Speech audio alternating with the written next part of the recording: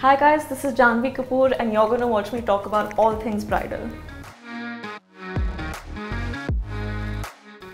I think in Capri on a yacht.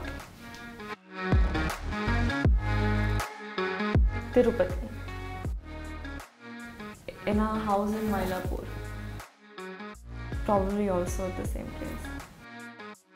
Is a reception necessary? No, no. The reception. Uh, traditional, but like simple.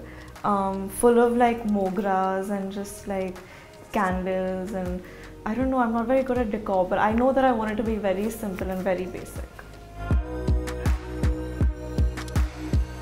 No, no, two days, man. I'll lip it. Wear a kanjivaram or a pattu pavda with gold zari. I've said this so many times in so many interviews, but like it still holds true.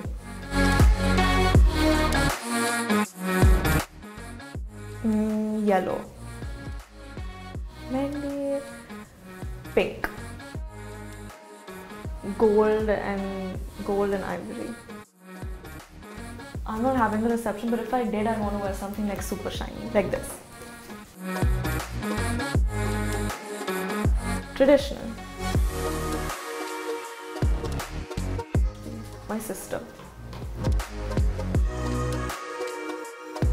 Mogras. Diamond. I think extremely caffeinated bride.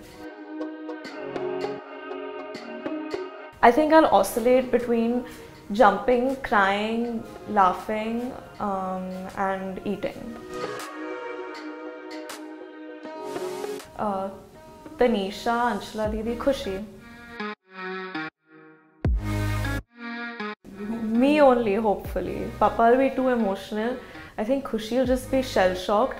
Anshula Didi will be like too busy. I don't know. I feel like she'll be overlooking everything and like being hospitable.